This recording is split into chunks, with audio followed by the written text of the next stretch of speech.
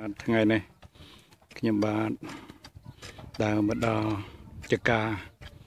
ខណ្ឌណាបាទណែម្ចាស់កំពុងតាធ្វើជើងលើករងបាទជ្រុំដីបាទ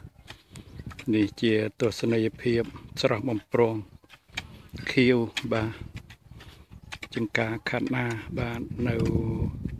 ដើមភូមិនេះបងប្អូនប្រកបមុខរបរដាំបន្លែលក់បាទ ចូលមកជើញទស្សនា តាមរយៈវីដេអូខ្ញុំបាទបាទអត់ទោះណែអ្នកស្រុកអ្នកភូមិកណាត់កើតជានៅនេះឬក៏អញ្ជើញមកពីខាងណាដែរបាទអូអ្នកភូមិនេះឯងបាទអាតើនឹងគេហៅភូមិអីដែរបាទភូមិថ្មីបាទហើយមកនៅប្រកបមុខរបរបលែហ្នឹងបានប្រហែលឆ្នាំហើយនៅតែនេះ 10ឆ្នាំណា10ឆ្នាំហើយបាទបាទបងប្អូនស្អាតណាស់បាទអត់ទោះណែខណ្ឌណាហ្នឹងបើវាត្រូវពេញថ្លៃយើងបានលក់ចេញទៅបាន1គីឡូប្រហែលដែរបាទទៅពេញថ្លៃនឹងវាគីឡូ50 1គីឡូ50 5000លុយខ្មែរបាទបាទបានថ្លៃចាបាទអាហ្នឹងយើងបោះឲ្យមួយដុំហ៎ចាបាទថ្លៃបើមួយដុំបាន5000បាទ បាទបើយើងបោះឲ្យមួយដុំបាន5000ហើយគេលើកបន្តទៅយកទៅបោះ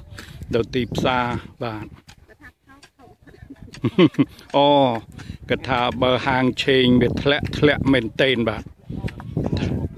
បាទគីឡូ25 10បាទធ្លាក់ដល់យើងដែលមុខខ្មៅអែបាទ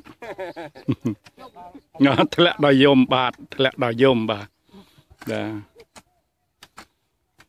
អត់ទៅយើង